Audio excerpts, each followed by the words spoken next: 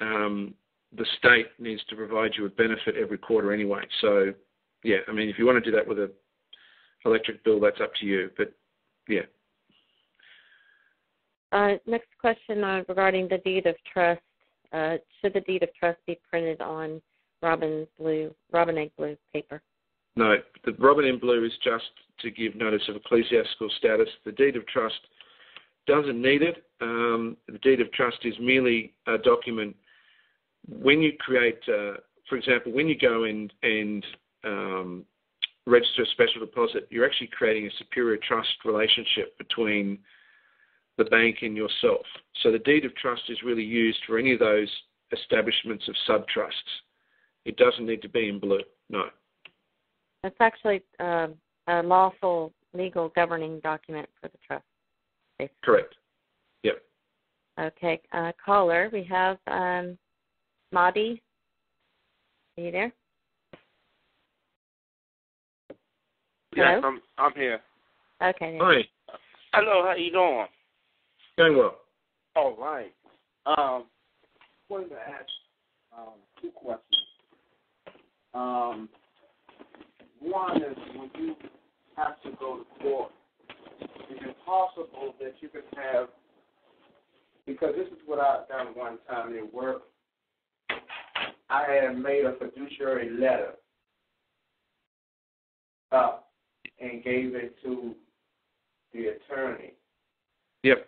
To make him go ahead and do what he's supposed to do, even if you have a, a attorney, um, appointed attorney for anyone in any situation, you can give him a fiduciary contract, and when he don't perform, you can collapse his bond as well. Now you're a bit quiet. Uh, just a, you're a bit quiet. Can you talk up a little bit more? I can hear what you've said so far, but can you talk up a bit? A fiduciary contract. Um, can you hear me now? Yes, that's great. Thank you. Okay, you're welcome. A fiduciary contract. Um, even if you have a lawyer that's uh, representing you, you can still give them a fiduciary contract and let them know what's involved with it. Now, um, you, you, want you want me to just comment on that? Is that your first yeah. question? Yes, that's one. Can we go ahead? Okay. Comment on that the, one. The, the job of an attorney is to turn you, uh, to turn the liability from the prosecutor to you, to ensure that you accept the liability and you become the executor. So you become the one that puts you yourself in jail.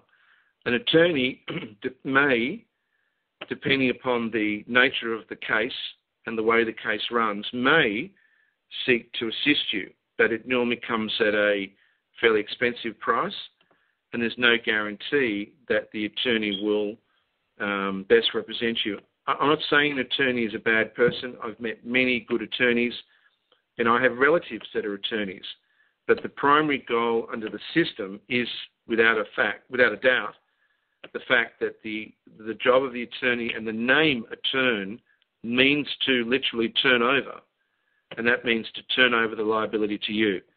It's entirely up to you whether you use an attorney, and putting a, an attorney under some kind of contract is meaningless because their oath to the bar supersedes anything you do.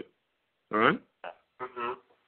And more importantly, when you go to court with an attorney, you are declaring to the court you are incompetent.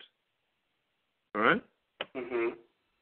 That is why you have an attorney. You don't have an attorney because you're competent.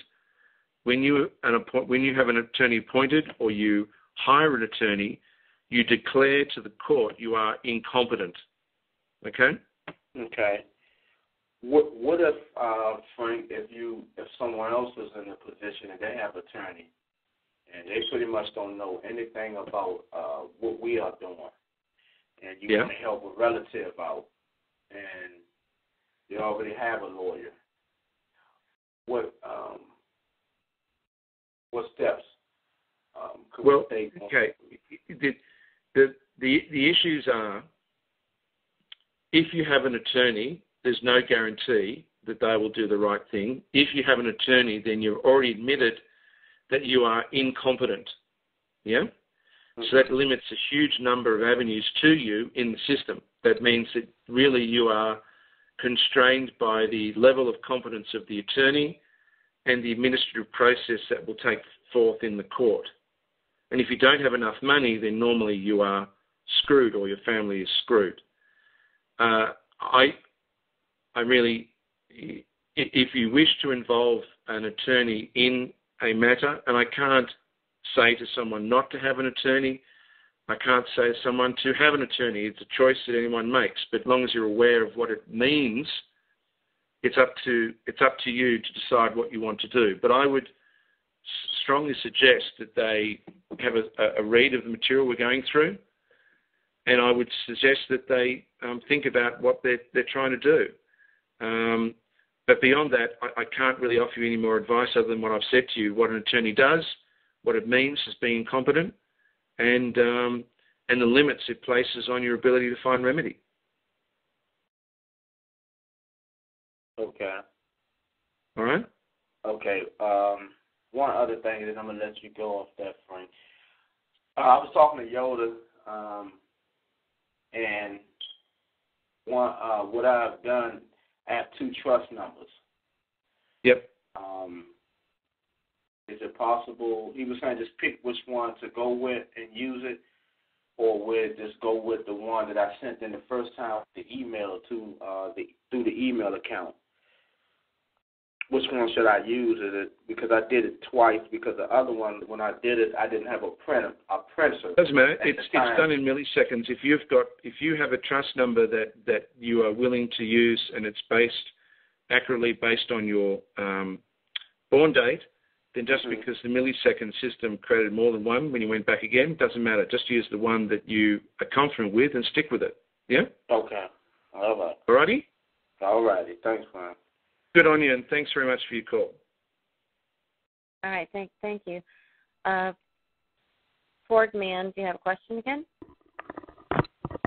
Yes, Frank. Quick question. Um, looking at the SS4 form and um, on the name that you're going to put in on it, yeah, I see you got the example. Do you use your full name that's on the birth certificate, or just the first name and surname?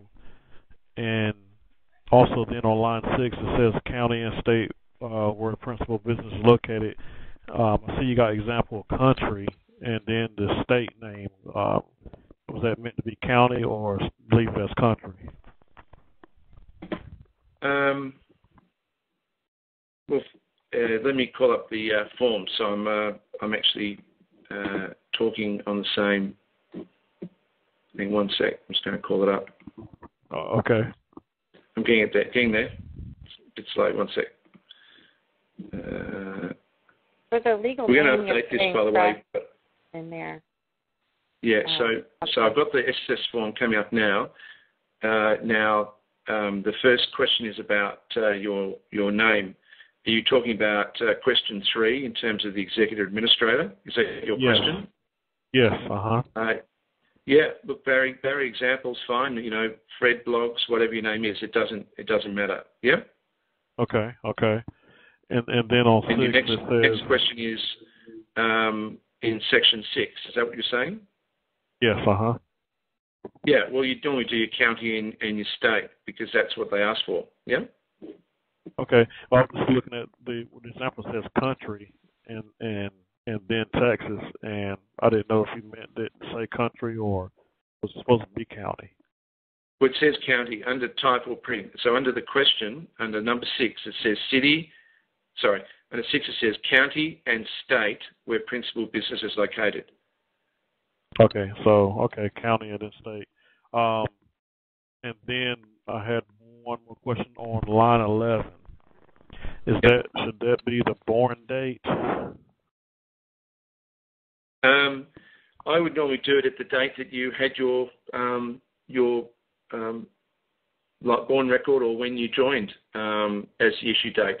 If you start playing back 20 years, 30 years, you you you got to remember what you're dealing with. These, yes, it has been created back then, but you're setting up a superior trust relationship here, and it really is the date of issue. So I wouldn't be putting 20 year dates back because it just is a red flag for them. Yeah. Okay, okay, I got you. Because I, I, would ask um, if you're if you're if you've been sitting on a trust for 20 years, why haven't you registered it before? Yeah. Gotcha. I got you. You're right. right good. Um, yeah. And, and and then of course once doing this with the uh, birth certificate and all, the old Social Security number, is that still still claim benefits off, or was it squashed and gone also? With, I, I, sorry, can you can you go back to the bit on the birth certificate again? Just ask that bit of the question again. Say that again.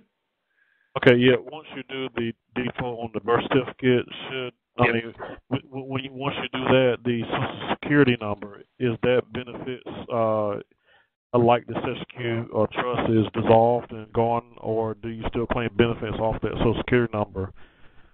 Well, it, until they and, until they dissolve it, you can still claim benefits off the SSN. But ultimately, what's going to happen is that they're going to release the, the bigger benefits to you, which they keep banking in their own system, and then any benefits else other than that you'll convey through the trust, and so it'll be through the trust number. Yeah. Okay. Okay. You, you, remember, you don't stop.